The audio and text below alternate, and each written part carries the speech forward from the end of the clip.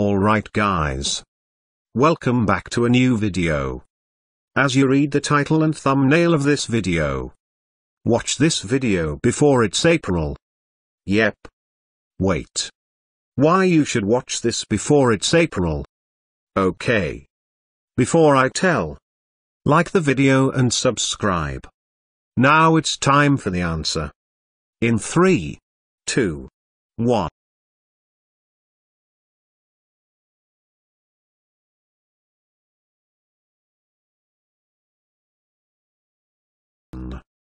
Yeet.